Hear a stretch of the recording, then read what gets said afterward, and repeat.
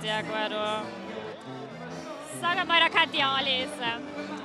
Florian, komm mal her. Servus, Florian. Du, das hört sich alles so gut an. So, welche kannst mir du empfehlen? Da kann die alle essen. Darf ich da jeder mal probieren? Du, mein, du weißt, wir haben alles rund um den Knödel, aber natürlich haben wir auch jedes Jahr ein Knödel-Highlight. Also ein Spezialknödel. Richtig, und es ist dieses Jahr unser Wasabi-Knödel auf süß-saure Mango- und Bockgemüse. Wasabi ist ja scharf. Ja, ein bisschen schon. Weißt du was? Aber das schaffst du schon. Du kriegst jetzt von mir nur so eine Krone.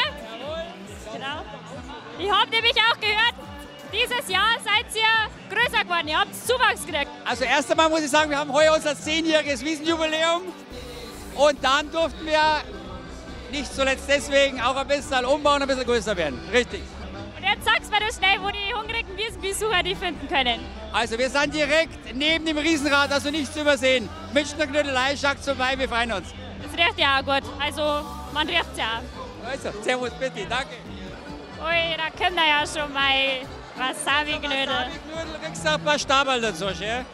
Muss ich das jetzt mit Stabal essen? Ja, du lass das schmecken. Das Also, ich versuch's. Viel Spaß. Ein bisschen scharf.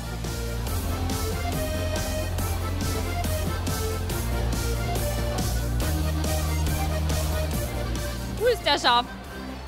Aber gut ist er auf jeden Fall. Und deshalb kann ich sagen, hat er uns ein Wiesenmus gutes Aufkleber verdient.